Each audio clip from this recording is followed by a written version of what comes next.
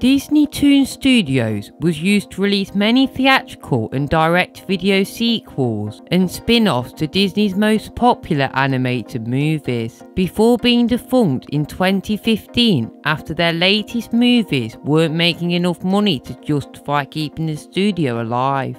Some of their most popular films includes the Tinkerbell franchise, Planes and a Goofy movie. To be honest, I'm not the biggest fan of DisneyToon Studios' films, but there are a couple of hidden gems in their filmography, including a Goofy movie and The Little Mermaid 2. The first feature that Disney released under DisneyToon Studios was DuckTales and the Treasure of the Lost Lamp, which was primarily produced in France and the UK. Unfortunately for Disney, DuckTales didn't even make back enough to cover the film's budget, so Disney took a long break before releasing their next film, a Goofy movie, which was released in 1995, five years after DuckTales. On its initial release, a Goofy movie wasn't a huge success either, however its home video sales were through the roof.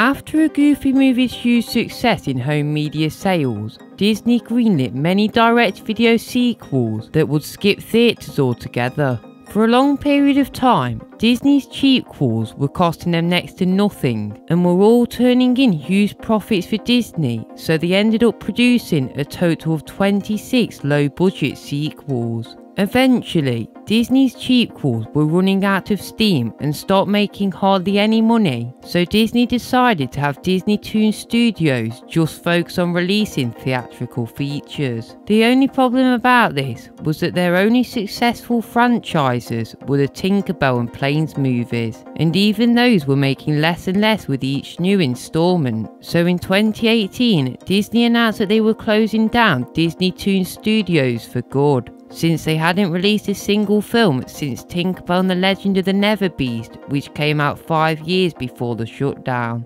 DisneyToon Studios was nobody's favourite Disney division and most of their films were utter crap, so I can see why Disney shut the studio down, unlike when they closed down Blue Sky Studios, which I will still never forgive. Except for a Goofy movie, one of Disney's best movies period, the only two movies I enjoy personally was Planes Fire and Rescue and The Little Mermaid 2. But I know that many of you have grown up watching DisneyToon Studios' movies and have a deeper connection to the studio than I have. To conclude this video, DisneyToon Studios wasn't anywhere near the best animation studio, but I did enjoy a few of their movies. Thanks for watching the video. Let me know your favourite DisneyToon Studios movie in the comments section below.